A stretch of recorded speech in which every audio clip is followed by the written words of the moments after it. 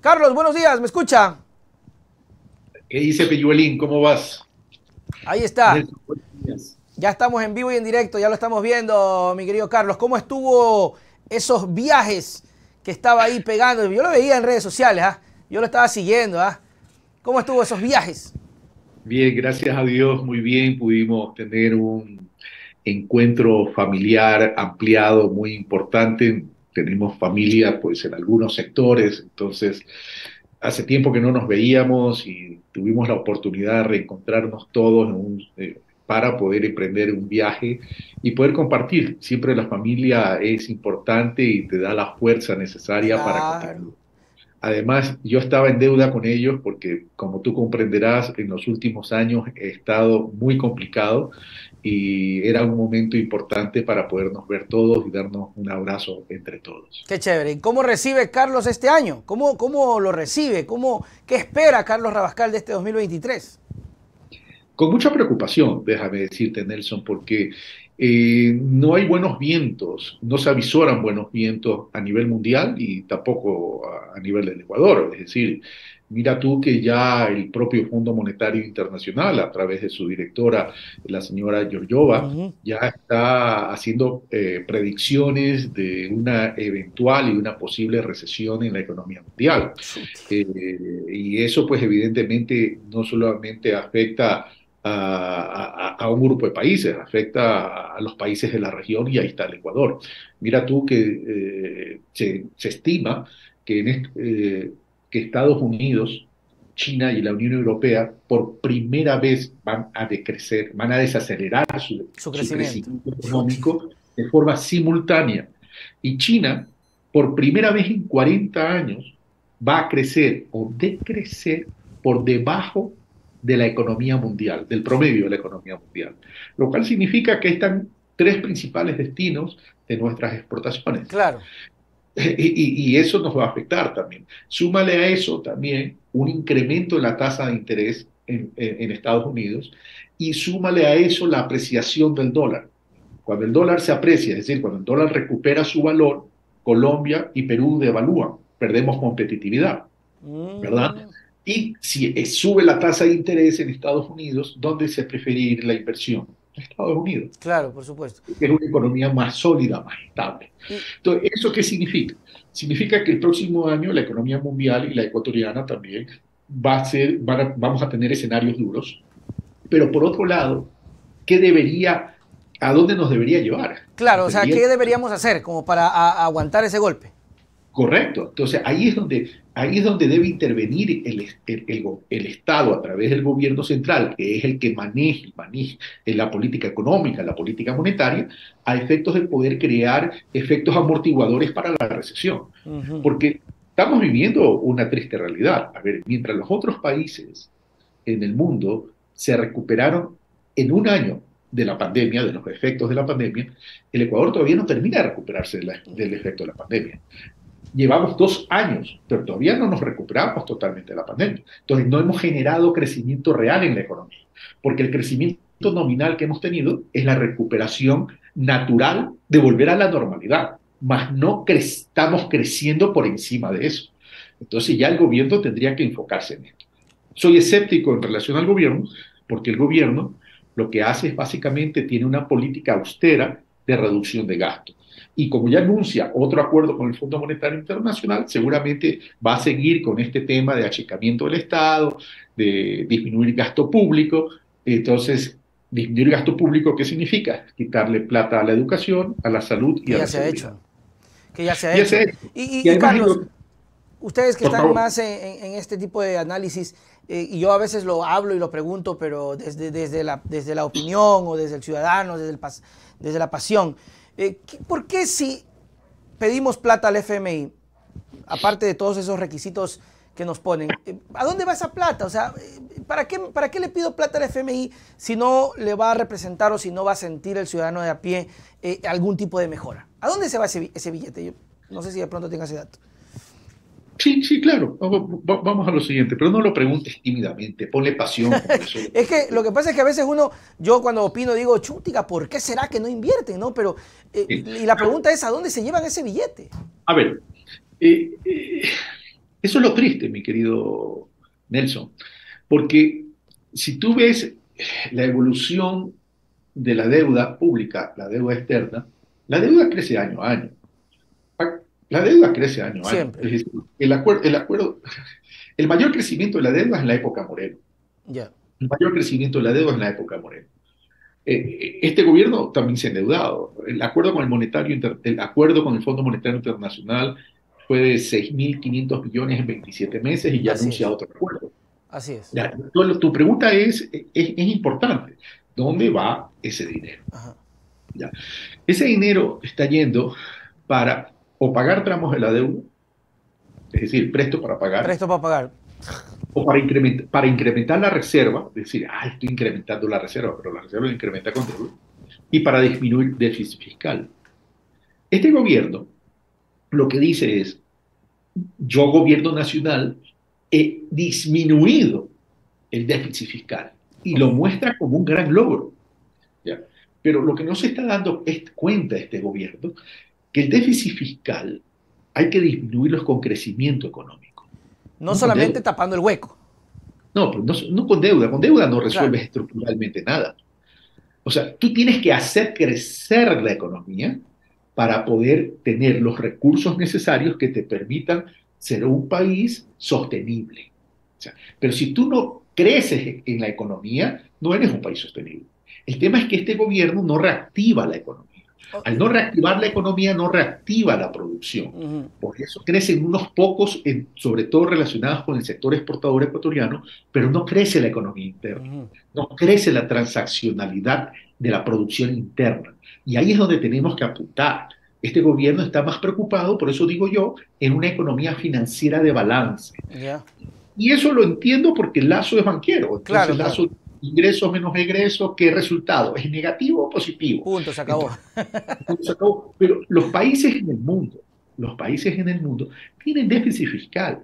El déficit fiscal no debe asustar si es un déficit que uno lo puede controlar en el corto plazo uno lo controla en el corto plazo para hacer inversión en el país, ¿verdad?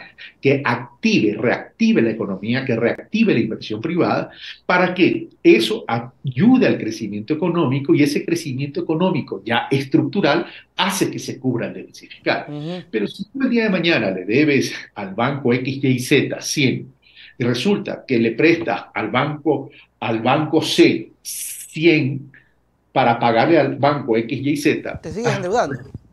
Te sigues. O sea, sigues igual, simplemente, pero no, más o menos captando la idea, Carlos, por decir en ese mismo ejemplo para que la gente que nos está escuchando, sino si el país no hiciera eso, si, o, o en el ejemplo de un ciudadano, si yo no hiciera eso, sino que cogiera eso, lo invirtiera en algo y eso me genera recursos, tal vez pago ese préstamo y pago el otro préstamo, algo así.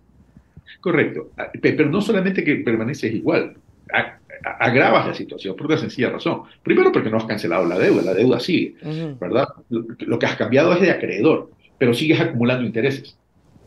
¿Sí? Sigues acumulando intereses. Entonces, en vez de enfocarte es qué voy a producir que me genere recursos para con esos recursos pagar la deuda y que me genere todavía un excedente para poder seguir invirtiendo en mi actividad productiva. Claro. Eso es lo que no se está haciendo en Ecuador.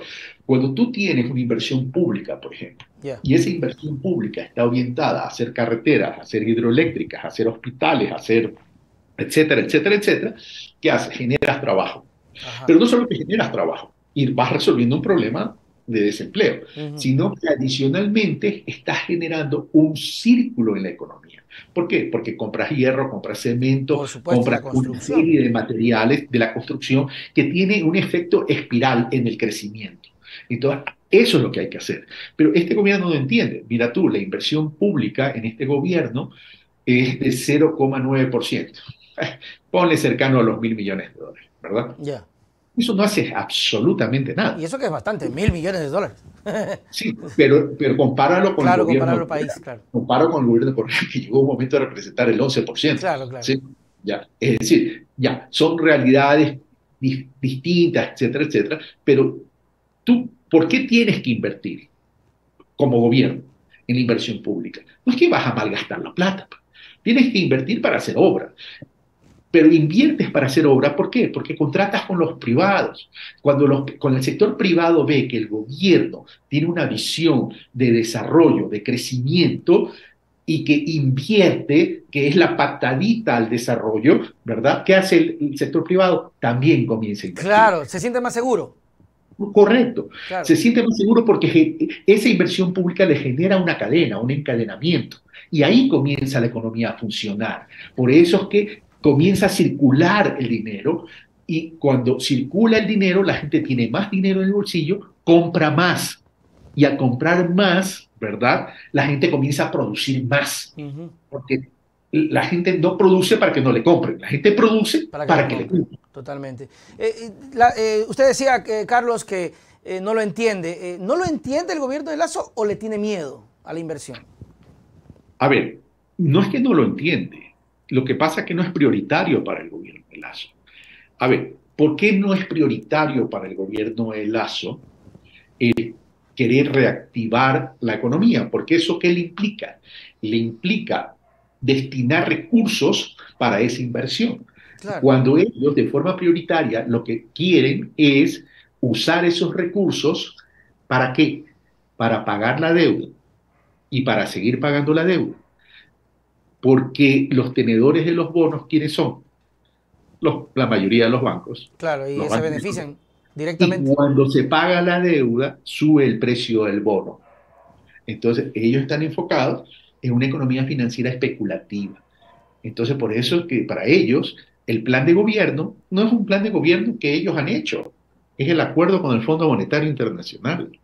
Por eso yo vengo diciendo desde hace tiempo que Guillermo Lazo le cedió la banda presidencial al Fondo Monetario Internacional. Totalmente, definitivamente. De hecho, es eh, hasta triste ver a un presidente que tiene que ir eh, sumagado, cabizbajo, eh, sometido básicamente, soberanía totalmente cero de esta situación. Eh, esa, esa, esa imagen, esa imagen del presidente Lazo eh, con el presidente Biden, era un niño yendo a, no, un parque de diversiones. O sea, eh, en otras palabras, tú, tú que eres de Milagro, de la provincia del Guayas, Guayaco, allí hubo un despapallamiento progresivo, porque era, era, bastaba verle la sonrisa. Pues. Claro, claro. ¿dónde está el porte presidencial? ¿Dónde está la autonomía, la autonomía, la independencia? El señor Lazo representa a un pueblo y tiene que hacer respetar a ese pueblo. Y ahora lo que se le ocurre, Carlos, como para medio sobrevivir es el tema de la consulta. Y la consulta no solamente con una, sino que ahora el señor Jiménez anunció que eh, pueden hacer otra y ya están pensando hasta una tercera. Lo conversábamos con Ferdinand hace pocos minutos. Si no tenemos claro, Carlos, la primera consulta, ¿cómo podemos pensar en una tercera consulta? Sencillo. A ver, ¿de qué te sorprende, Nelson? ¿De qué le sorprende al A ver, primero enfoquemos las cosas desde la realidad. Porque hay que ponerlo en antecedentes. Tenemos que partir de lo que ya ha pasado. A ver, ¿la consulta popular es un instrumento democrático? Sí, por supuesto que sí, es un instrumento democrático, está establecido en la Constitución, etcétera, etcétera. Primera cosa. Pero la consulta popular se ha desvalorizado en el manejo de la política, también se ha desvalorizado en el manejo de la política. ¿Y por qué se ha desvalorizado el manejo de la política? Porque se utiliza un arma legítima, constitucional, democrática, para manipular el pensamiento de la gente. Ok. ¿Producto de qué? Producto de la mentira. A ver, el señor Lazo tiene un rechazo de cuánto? De más del 80%. Claro, llega creo que a 12% la aceptación. La respuesta es sí. Pero ¿por qué tiene un rechazo del 12%, de, de, más del 80% de la población? Porque el señor Lazo ha mentido, ha mentido, ha mentido, ha mentido y ha mentido sistemáticamente. Vengamos del 2021 para acá. Sería bueno hacer un inventario de cuáles son las mentiras, ¿verdad? ¿Sí? Es decir, mintió en la campaña. Y lo reconoce todo el mundo. No son promesas que no ha podido cumplir. Son promesas que las emitió, que las dio, que las hace, sabiendo que no tenía la intención de cumplir. Mintió. Tan solo por qué? Por llegar al poder. Primero lugar. ¿En el gobierno ha mentido? Sí, ha mentido y sigue mintiendo. Entonces, cuando te llaman a una consulta popular como la de febrero, y ahora el ministro de gobierno te dice, no va a ser la única, van a ser varias, entonces, claro, dentro del racional de ellos es, ¿cuántos me rechazan? Más del 80%. Ok, ¿cuántos años me faltan para terminar el gobierno? Dos, dos. en mayo, dos en mayo. sí, es decir, a ver, estamos 2023 y 2024. En febrero de 2025 son las elecciones presidenciales. O sea, faltan dos años. Faltan dos años. Para ser exactos, dos años. Ya. Falta dos años y medio hasta la transmisión, hasta el cambio de, claro, en mayo. pero en efectivo, en términos reales, dos años. ¿Qué tengo que hacer para pasarla con tranquilidad y poder pasar este tsunami que tengo? tengo que distraer a la gente. Totalmente. Y la consulta es la herramienta perfecta. Y la consulta es la herramienta perfecta. Entonces, si tú ves, el Señor no se ha dedicado a gobernar. El Señor está tratando de surfear la ola. Está sobreviviendo, por decir, está tratando de agarrarse de cualquier cosa. Así es. Entonces, dentro de esa prioridad no está el pueblo, dentro de esa prioridad no está la inversión pública, dentro de esa prioridad no está la salud, dentro de esa prioridad no está la educación, dentro de esa prioridad, lamentablemente, no está la seguridad. Pues. Está tratando de subsistir, de subsistir para mantener su foto en el salón amarillo del carón de letra. Y, es irónico porque, por ejemplo, quienes defienden la, posibilidad del sí, cuando te hablan de la reducción de los asambleístas, eh, decían, es que, es que nos vamos a ahorrar plata, porque nos cuesta hartísima plata a los asambleístas. Pero, sin embargo, la consulta aumenta, creo que, no me acuerdo la cifra, pero creo que era 20 millones o 18, o bueno, me acuerdo la cifra de millones que se aumenta por la consulta, pero si le aumentan otra a mediados de año y otra, el costo es mucho más elevado, decía Ferdinand, unos 100, mil, 100 millones de dólares facilito. Entonces, seguimos gastando plata por un capricho, Carlos. A ver, te lo voy a poner de otra manera para que vayamos entendiendo la dinámica de las mentiras de Guillermo Lazo. A ver. La población crece año a año, ¿correcto? Eso se llama crecimiento demográfico. ¿sí? Si la población crece año a año, crecen las necesidades de un pueblo. Porque somos más. En la medida que somos más, consumimos más. En esa línea de crecimiento demográfico, ¿verdad? Porque crece la población y la población tiene mucho más necesidades, te voy a poner un ejemplo. ¿Por qué debe crecer el sector energético, el sector de la energía renovable, año a año? Porque debe crecer conforme crece la población. Claro. conforme crece la población, va a demandar más energía. Conforme crece la población territorialmente, también va a demandar más representantes en la Asamblea Nacional Legislativa. A menos que el censo nos diga que nos reducimos. Sería el colmo. La pregunta, la pregunta es la siguiente. Ya, supongamos que se disminuye el, el universo de asambleístas. Primero, ¿cuánto te ahorras? Segundo, ¿resuelve los problemas en la democracia ecuatoriana? Para nada. No resuelve los problemas en la democracia ecuatoriana. Entonces, empaquetemos la racionalidad de la consulta y preguntémonos, ¿para qué sirve y por qué se la está implementando? Es decir, a ver, ¿cuál es el racional, el supuesto de la propuesta de valor que dice el gobierno nacional? Decir, por esto voy a llevar la consulta. ¿Cuál ha sido el discurso? El paraguas del discurso de Guillermo Lazo ha sido, vamos a erradicar el narcotráfico. Claro, con la extradición. Vamos a recuperar la seguridad. Ese ha sido el discurso. Sí. Ya. Y ha hablado del narcotráfico en términos generales y dice, es que necesitamos esta herramienta para erradicar el narcotráfico, porque ustedes ven el esfuerzo que nosotros estamos haciendo, porque estamos capturando más toneladas de droga y ahí se visibiliza la eficiencia de nuestra lucha contra el narcotráfico. ¿Eso lo dice sí o no? Mm, sí. Pero lo que no te dice es lo siguiente, que la Oficina de Naciones Unidas de Lucha contra la Droga y el Delito acaba de emitir un informe, ¿verdad?, sobre el crecimiento de la producción de la droga en Colombia. Ya. ¿Sabes de en cuánto ha crecido la producción, la producción de droga en Colombia? En un 43%. ¿Sí? En un 43%. Ha pasado de 143 mil hectáreas a 204 mil hectáreas de producción de cocaína. ¿Sabes dónde se produce? En Colombia, obviamente. Claro. Ese 60, el 62% de la producción se la produce en el departamento de Nariño y en el Putumayo. ¿Qué es el departamento de Nariño? Ipiales, Pastos, fronterizo con el Ecuador. Igual cerquita. Cerquita. Y por eso que el Ecuador, y Putumayo no se diga, pues también por el otro lado. Por eso que el Ecuador es vía de paso pues, de la producción de la droga.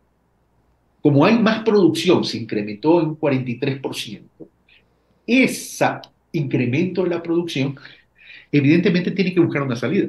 Claro. Esa salida lógica y más rentable para ellos, porque el Ecuador tiene puertos cercanos, es por el Ecuador. Pues. Entonces yo te pregunto, en temas de extradición, que es la, que es la pregunta claro, la, bandera de las... ¿Colombia no tiene extradición? Claro. ¿México no tiene extradición? También. ¿Ya? ¿Quién es amante de la extradición? Estados Unidos es el amante de la extradición, dicen, ¿verdad? Ok. Colombia ha podido resolver los problemas si se le ha incrementado el 43% de la producción. Que me den una lista de los extraditables en Colombia en los últimos 10 años. ¿Cuántos han extraditado? ¿Y cuál es la relación extraditables versus incremento de producción?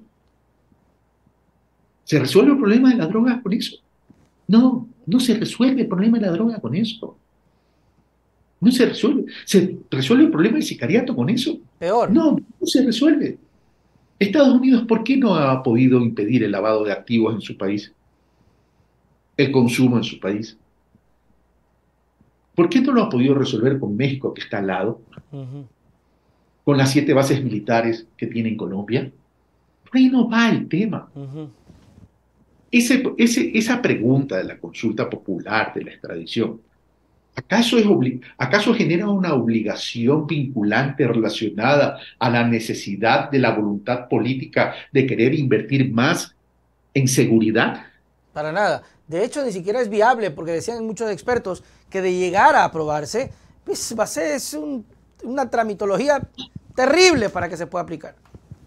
Para que exista una extradición, primero tiene que haber alguien que ha transgredido la ley dentro de estos temas del narcotráfico, del crimen organizado. Claro. Segundo, debe haber un país que lo pida. Sí.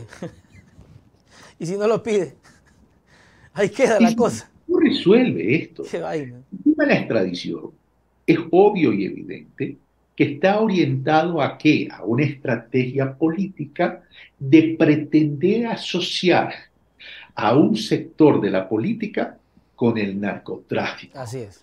De ahí vienen las declaraciones absurdas y estúpidas del propio, e irresponsables del propio presidente cuando dice hay políticos que están relacionados con el narcotráfico. Y habló de correístas. Y habló de correístas. Y con mucho nervio porque no sabe lo que dijo. Claro. Entonces, vamos a lo siguiente. ¿Por qué no presenta la denuncia? Cero. ¿Y por qué entonces el otro ministro, el del Interior, el ministro Zapata, comienza a, engalillarse y comienza a toser y, cuando se le pregunta dice, no, no, no, no, no, no hay información. Ajá. No hay información. Hay unas alertas. Bueno, si se trata de alertas, yo tengo alertas de corrupción en el sector eléctrico de este gobierno, el gobierno de Lazo. Yo tengo alertas de corrupción en la seguridad social de este gobierno. Yo tengo alertas que a un familiar del presidente Lazo supuestamente se le ha quitado la visa americana. No, oh. sería irresponsable caer en eso. Pues. Sería de irresponsabilidad caer en eso. Más aún tratándose de un presidente de la República. Obviamente debe haber gente vinculada, por supuesto que sí.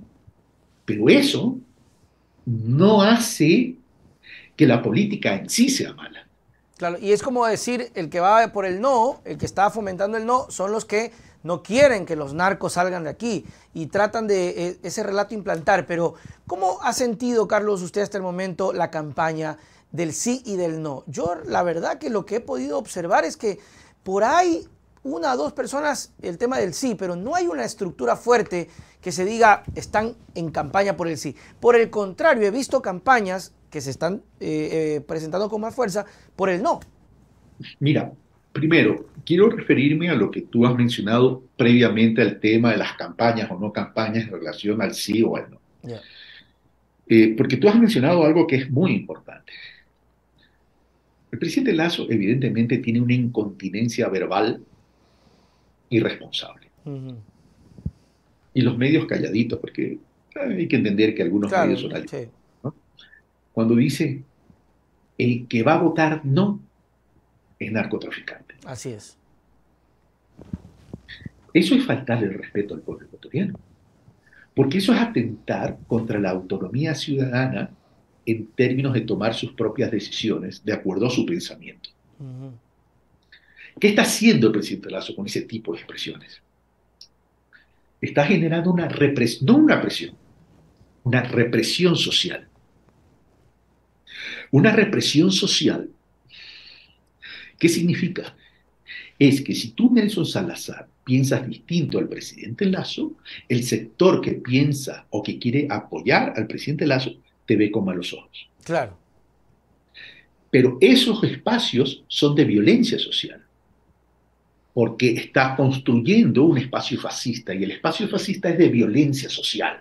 Entonces, de violencia social no solo es que te mire con malos ojos, sino que el día de mañana te puedan maltratar, te puedan hacer bullying, te puedan pegar, te puedan, te puedan generar una violencia física. Acuérdate cómo comenzó la, cómo comenzó la, la, la, Segunda Guerra Mundial, ¿no? en, el, en, en la Alemania nazi. En la Alemania nazi. ¿Ok? Entonces, eso se llama fascismo, que genera represión y violencia social. Eso es atentar contra los derechos humanos tuyos en tu capacidad de pensar, en tu capacidad de decidir y en tu capacidad de actuar. Y eso no se lo puede aceptar. Y lo hace Lazo, que eso es un agravante, es el primer personero. Si ese señor no pide disculpas, no reconoce su error, entonces me sentiré en la libertad de llamarlo, presidente Lazo, usted es un fascista. Totalmente. ¿Sí? Vamos ahora al otro, al tema de la campaña del sí y el no. La campaña oficial recién comenzó ayer. Así Había unas precampañas.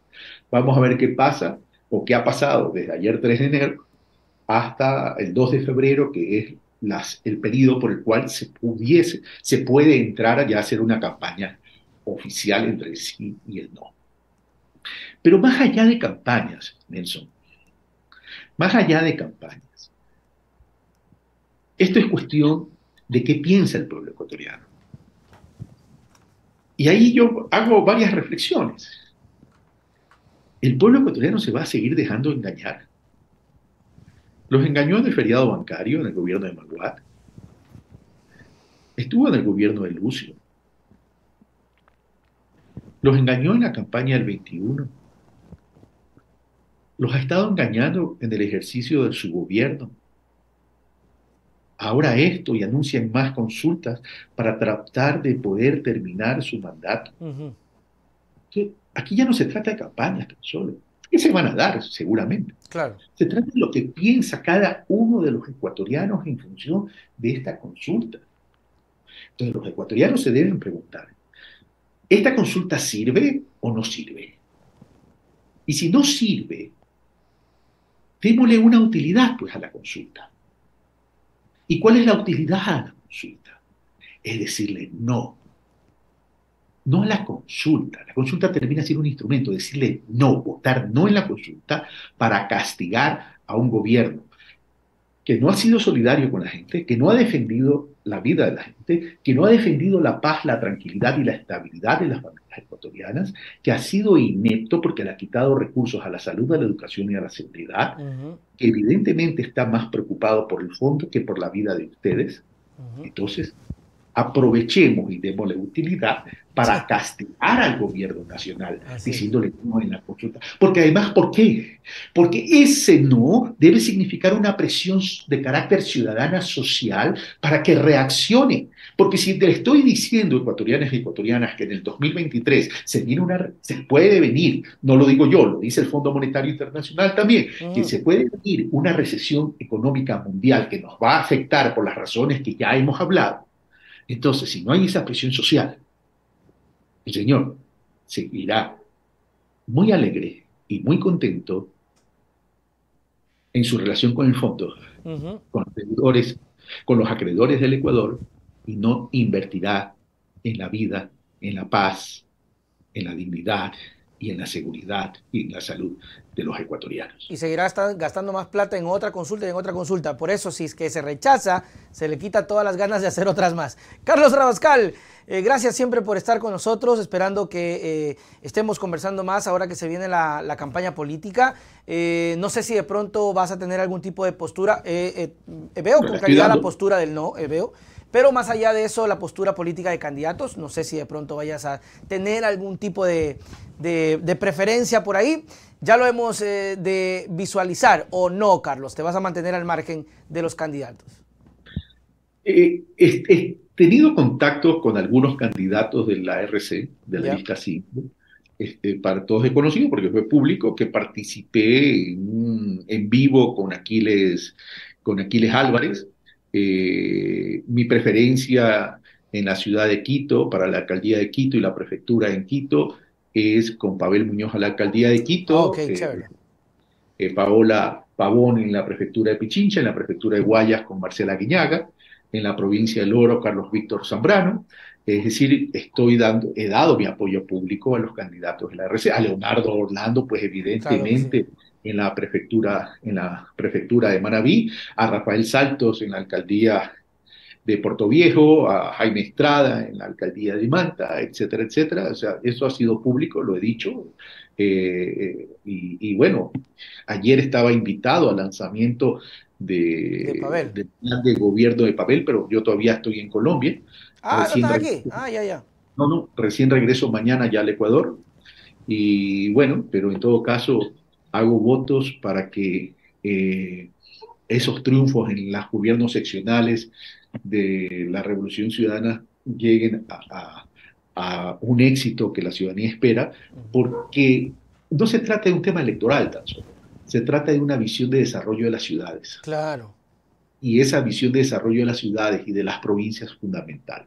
Entonces, bueno, vamos a ver qué pasa. Qué chévere, qué bien, qué bueno. Carlos Rabascal, nos vemos en otra oportunidad. Tus palabras para despedirnos. Bueno, muchas gracias Nelson y a quienes nos escuchan.